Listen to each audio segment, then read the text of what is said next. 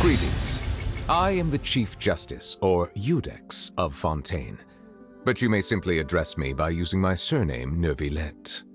Not because I wish to keep my distance from you. No, I am merely conscious that being overly familiar may bring the impartiality of the judiciary into question in some people's eyes. If you have any requests or concerns, then, to the extent permissible by law at least, we can sit down and discuss them together as we partake of some imported water from Qiaoying village.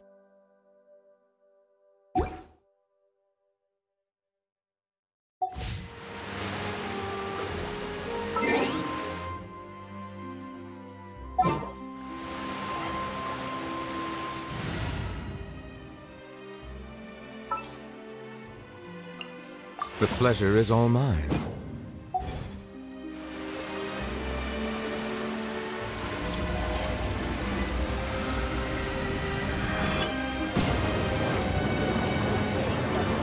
I